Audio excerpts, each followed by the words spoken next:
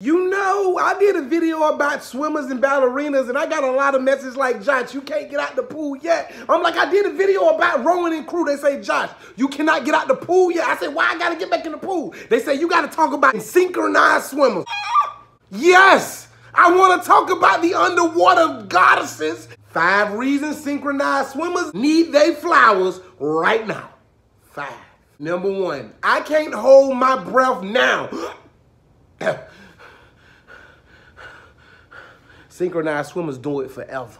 Now, when we think about synchronized swimming, let's be honest, all we think about is a bunch of people in a pool moving in units at the same time. Number one, that is false. Number two, that's falsified. Number three, that's falsifato. That ain't falsifato ain't even a word. Synchronized swimmer training pools six to eight hours a day. That's eight hours of being in the water. And being in that water, you gotta learn to hold your breath, hold your nostril. You put me in a bathtub full of water, I'm fighting for my life right now. The mental strength that you got to possess to be a synchronized swimmer is on a planet on a level that I've never heard of. Flip me upside down right now and I'm going to lose my mind. You mean to tell me you want me to get in a pool full of water, flip me upside down, hold my breath, and not know what's going on up above me?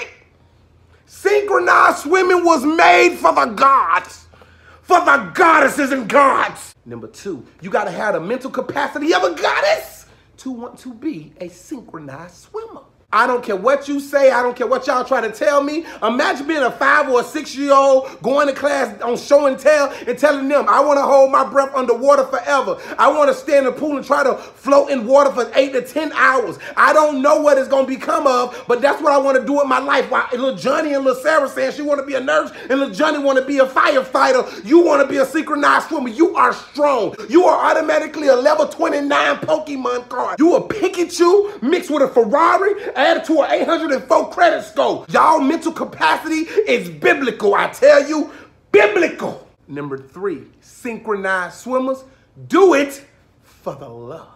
NBA players paid extremely well. NFL players paid extremely well. Soccer players paid extremely well. Synchronized swimmers and divers, they hope and they pray to make it to the Olympics where they can receive endorsements. Imagine picking a career, a sport, falling in love with a sport where you may never witness that these other athletes run into throughout their career. You are training to be an Olympian. You are training to be on a Mount Rushmore somewhere. Your your hopes and dreams are in that bank. Your hopes and your dreams are in the sky. Your hope and your dreams are in the minds of others. You hope and you wish to be a living testimony and inspiration to those to never give up. Everything you do don't have to have a monetary end at the road. Synchronized swimmers, they deserve their flowers now.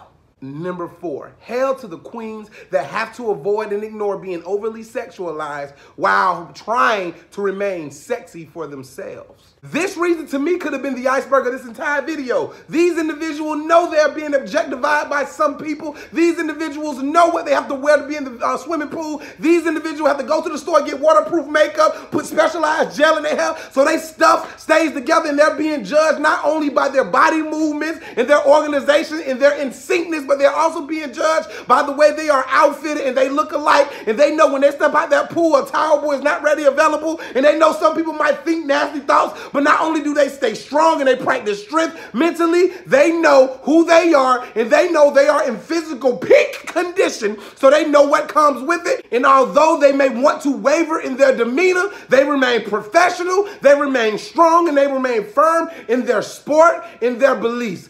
Thank you, beautiful people, for remaining beautiful in all instances of the synchronized swimming community. And number five, the physical demand that synchronized swimming put on your body.